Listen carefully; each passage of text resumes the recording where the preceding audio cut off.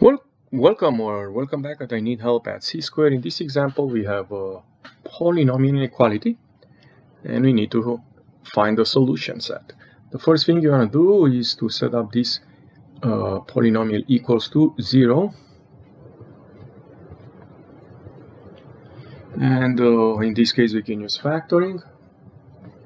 We're going to have x plus 4, x plus 1 equals 0, which is going to give us the two solution, x equals negative 4 and x equals negative 1. In this moment we can do the table. And we're going to have here the first one negative 4, the second one negative 1. For each value the function is 0. And the first one I have in my mind it's uh, to always to use is 0.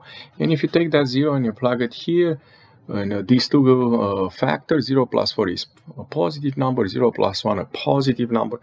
That tells us we have a positive value of that product. Okay, well then let's take a look to a number between negative 1 and negative 4, like negative 3. And again, you can plug it in here and you, you will notice negative 3 plus 4 is a positive number, negative 3 plus 1 is a negative number, so we have a negative value for that function here. And if you do similar, you're going to notice a positive value on the left of negative 4.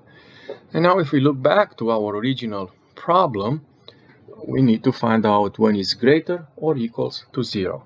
That's happened between negative infinity and negative 4 bracket here and here parentheses.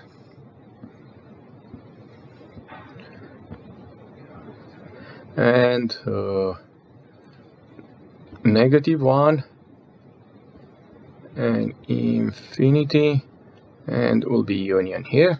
In case you need that. So yes um, this quadratic this polynomial is greater or equal 0 the original problem uh, in those two intervals you can see the same thing in the picture.